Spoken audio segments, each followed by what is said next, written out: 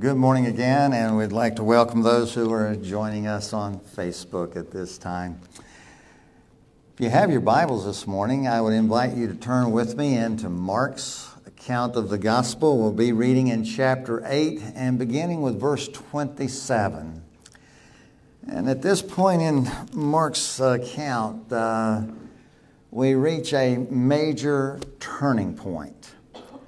Uh, everything that takes place from this point on, Jesus is heading towards Jerusalem. And this will be the time in which he goes to present himself as the sacrifice for our sins. So in Mark 8 27, as we read, let us remember it's the Holy Spirit who inspired this and invite him to inspire our hearts. Jesus and his disciples went on to the villages around Caesarea Philippi. On the way, he asked them, Who do people say I am? They replied, Some say John the Baptist, others say Elijah, and still others, one of the prophets. But what about you? He asked. Who do you say I am? Peter answered, You are the Christ. And Jesus warned them not to tell anyone about him. Let's pray as we seek God's guidance. Oh Lord, we thank you so much for your word. We ask, O oh Lord, that you will take this and that you will use it in our hearts and in our lives, that you will give us understanding, Lord, that you'll give us application. We ask, Lord, that you will speak to us. I confess, Lord, that I am totally inadequate to teach your word. And so I ask for your anointing Anoint me with the power of your Holy Spirit. Lord, speak to our hearts. Lord, I ask that you would cleanse me of all my iniquity, that you make me a vessel that is fit for your use. And it's in the precious name of our Lord Jesus we pray. Amen life is filled with all kinds of questions. Most of them are probably not all that significant. A lot of the questions that we answer that seem so important at the time lose their importance just about as quickly as they gained it. Service is over today, you'll probably be asking the question what am I going to have for lunch? And that will seem very important. Now, you don't have to worry about that yet, it's still a little early. But it'll seem so important at the time. And after it's over, that question has lost all of its significance. And we experience a lot of questions like that.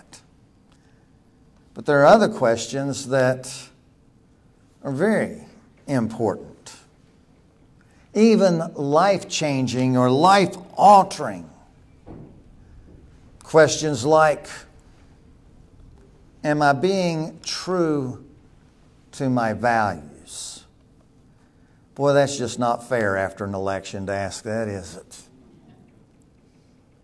That's an important question. It's a life altering question.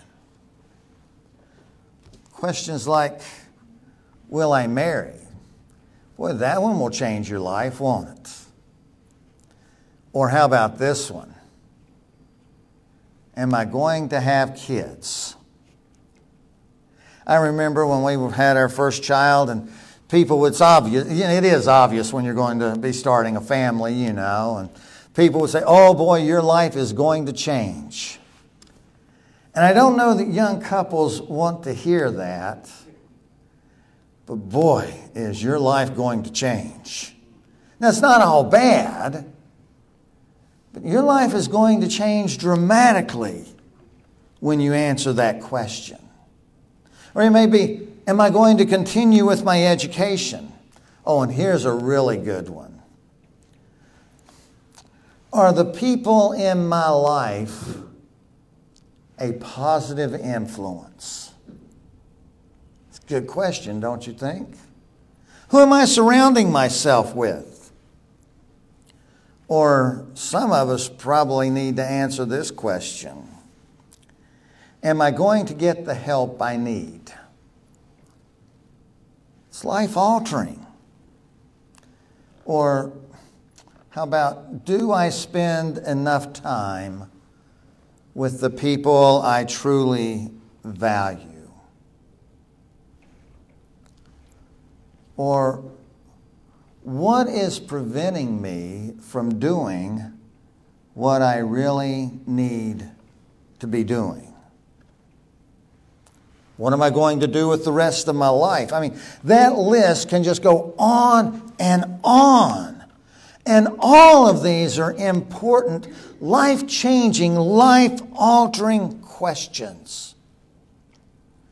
But it's here on the road to Caesarea Philippi that Jesus presents the single most important question that we will ever answer. It is so basic that it will influence every decision that you will ever make after that. It is so important that it will determine the very course and the nature of your life, and beyond that, it will determine your eternal destiny. And so wisdom would say, we really need to pause long enough to explore that question. Who do you say I am? As we look into this story, the very first thing that Mark points out is the location. Now, this isn't really a side note. This is really an important part of understanding what's going on in these events. And so the location is highly significant.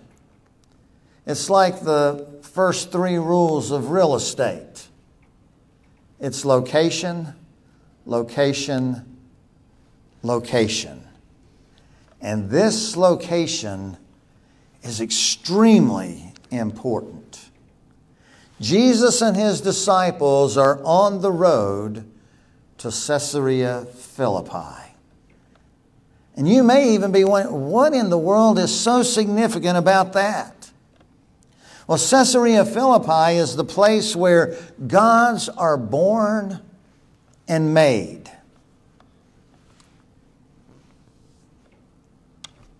I've had the tremendous privilege of going to Caesarea Philippi. And it is a beautiful place. It's in northern Israel. It sits at the foot of Mount Hermon. Mount Hermon is roughly 10,000 feet in elevation.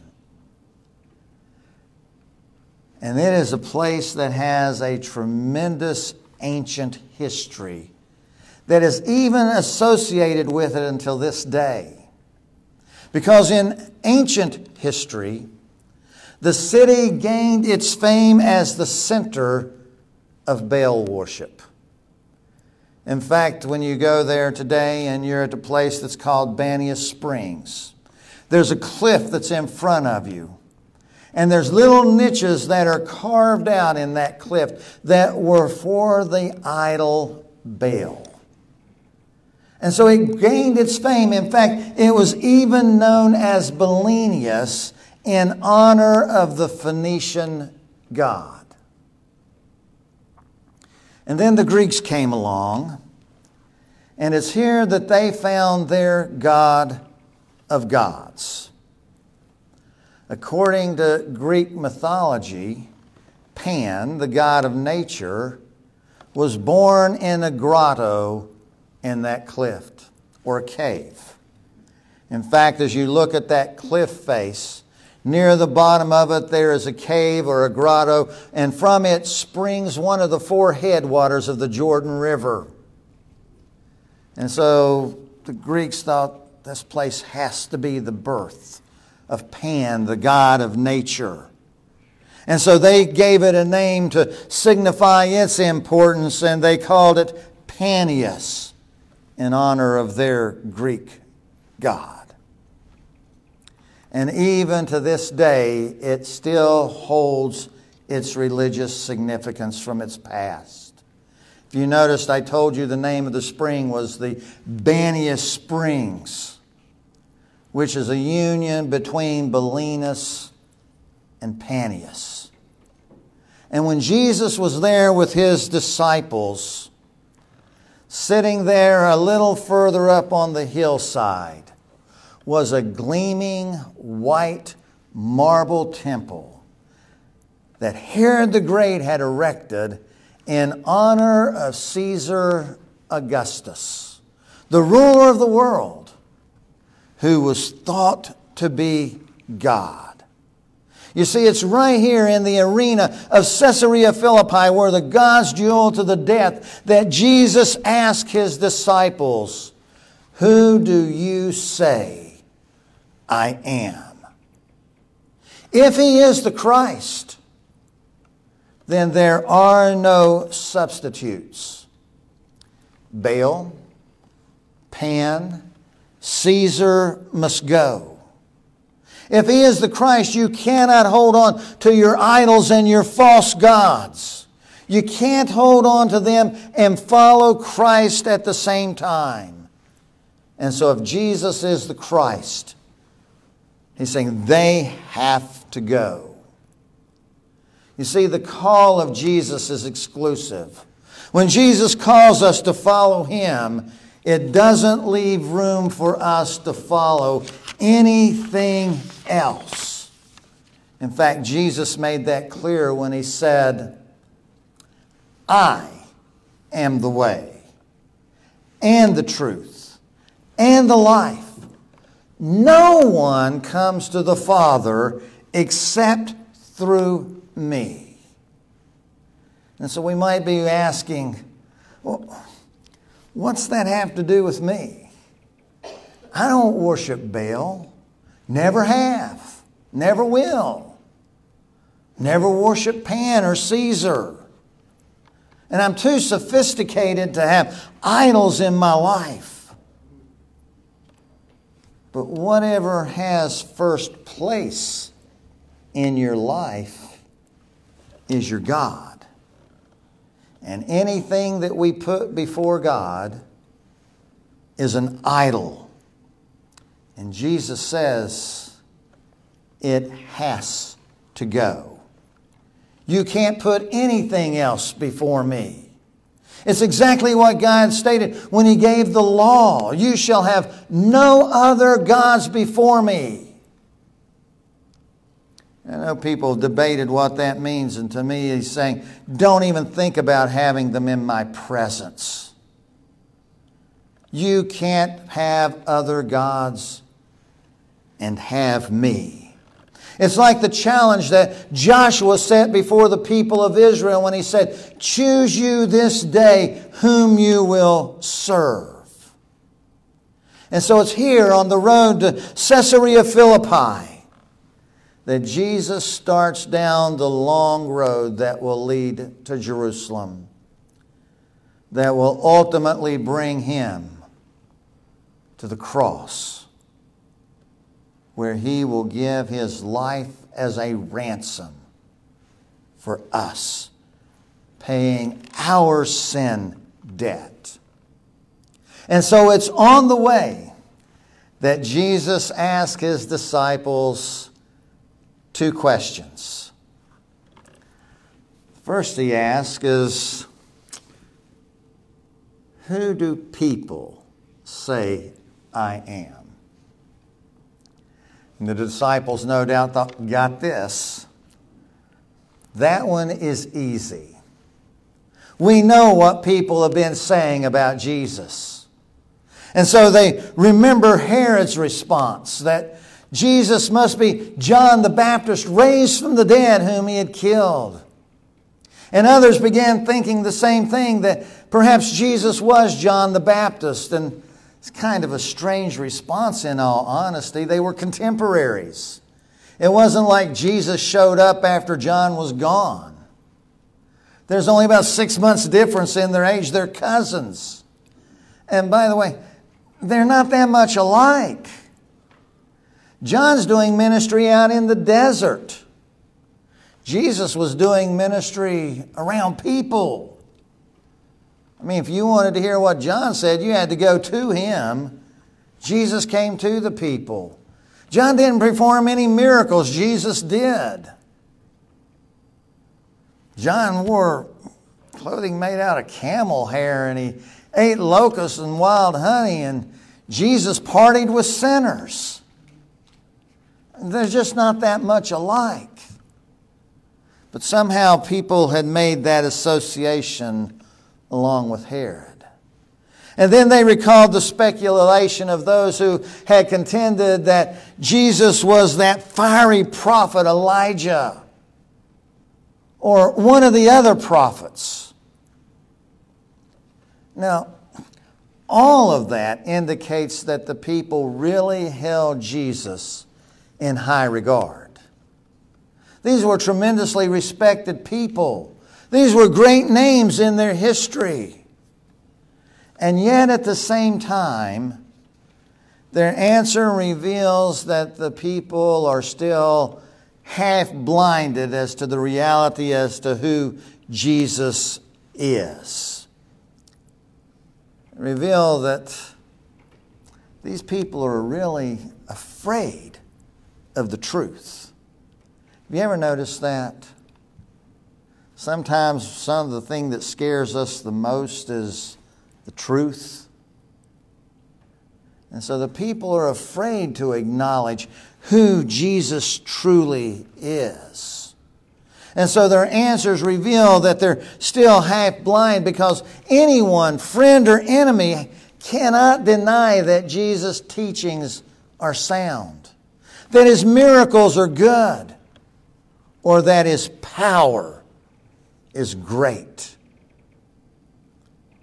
But the blur of their nearsightedness is to simply acknowledge that Jesus is extraordinarily human, but not distinctly divine.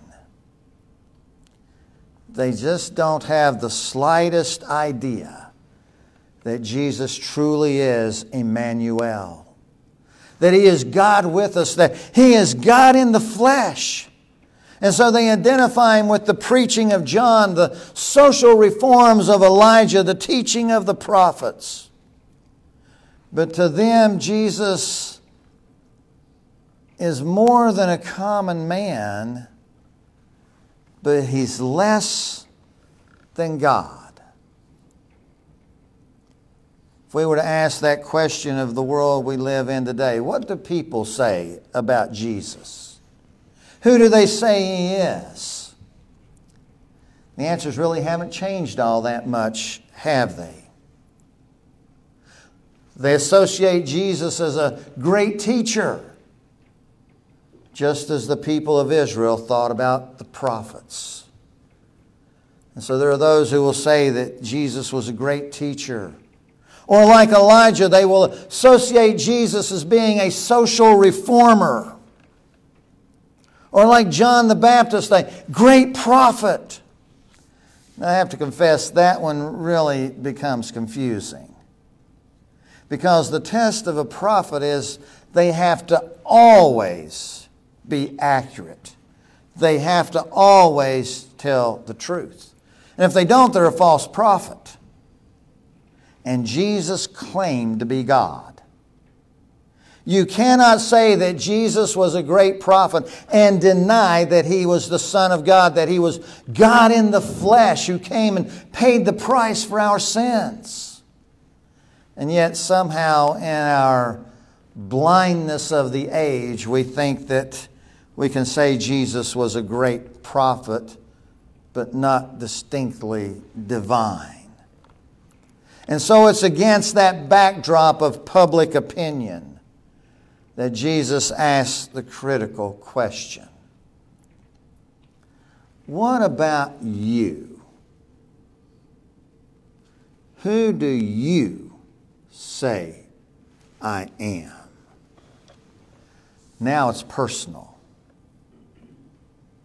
And now the disciples have heard that. It doesn't matter what the public holds as their opinion of Jesus. Now it's about you. Who do you say that Jesus is? And Peter, bless his heart, it just flows right out. You are the Christ. And I tell you, most of the time when something just came flowing out of Peter's mouth, it usually wasn't too good. But boy, that's not the case this time. He's nailed it. This is awesome. It's like finally all of the dots have connected. All of the teachings of Jesus, all of his preaching, all of his miracles have suddenly converged at this one moment in time. And Peter knows exactly who it is. And it has produced one of the greatest spiritual synergisms in the entire history of the world. Synergism is a breakthrough in human knowledge. It's when we have that aha experience. When the light bulb finally comes on, it's when that beam of light comes and reveals the answer to all the problems that we've been struggling with. It's when all of the pieces of the puzzle finally and suddenly fit together. And now we have the greatest breakthrough in the knowledge of human history when Peter says, You are the Christ of all people, the greatest confession in all history comes from the lips of Peter.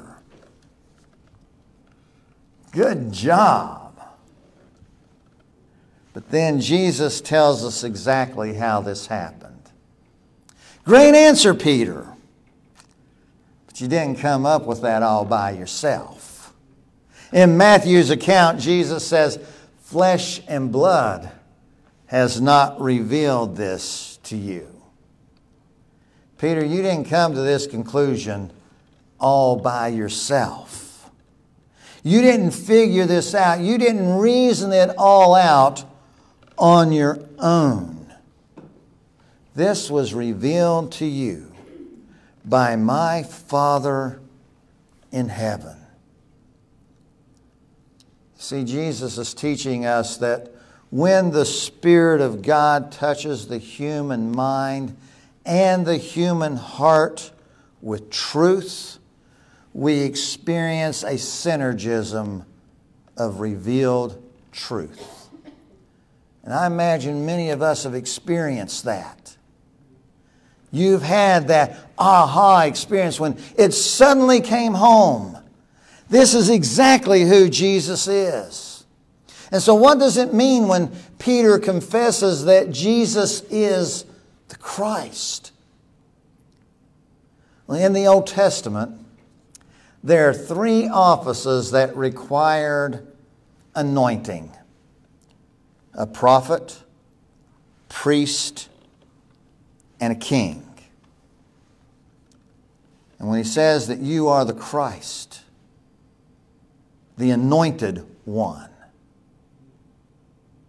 saying that you are God's anointed prophet. And so, what does a prophet do? Well, a prophet speaks the word of God. And it's really unique here because not only does Jesus declare the word of God, I love this. Are you ready for this?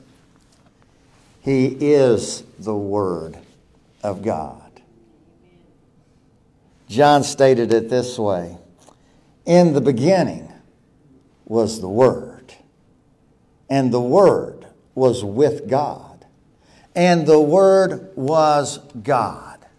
And then in the 14th verse, he says, And the Word became flesh and made his dwelling among us. Jesus is the anointed prophet of God who not only speaks the Word of God, he is the Word of God. And he is God's anointed priest. The priest is the one who would present the sacrifice for the people's sin. The priest is the one who would intercede before God on behalf of the people. The priest is the one who would bring the people before God. And Jesus is God's anointed priest. And not only is he God's anointed priest, he's the sacrifice as well. Jesus is the priest who presented himself as the sacrifice for the people's sins so that he could intercede on our behalf before God and bring us before him so that we can be in a relationship with God. And so he is God's anointed prophet, he's God's anointed priest, and he's God's anointed king. The king is the one who has the authority to rule over our lives, to govern over our life. The king is the one that we submit to. And so Jesus is God's anointed king, the one that we are to yield ourselves up to. That's why the scriptures teach us that when we come to Jesus, it's as our Savior and our Lord. We submit to Him leading us in our life. But not only is he God's anointed king, he is the king of kings. Wow, what a confession. No wonder Jesus says, Peter, you didn't come up with this all on your own. And the reality is, is when we recognize who Jesus is, it's not because we came up with it on our own. We talked last week about God's prevenient grace, and that's when God's working in our life to woo us to Him, and He's revealing that reality to us, and we're finally ready to acknowledge exactly who He is. And that's where we find Peter. And as we continue looking in Matthew's account, he gives us a little bit more information because Peter not only says, You are the Christ, he confesses, You are the Son of the living God. See, not only you God's anointed prophet, God's anointed priest, God's anointed king, he is now saying, You are divine. Jesus, you are God Almighty in the flesh. And so he is confessing that Jesus is God incarnate, that he is our anointed Lord and our anointed Savior. And that is the single greatest confession that has ever been made in the history of the world.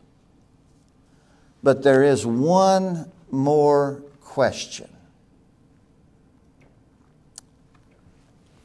What about you? Who do you say Jesus is?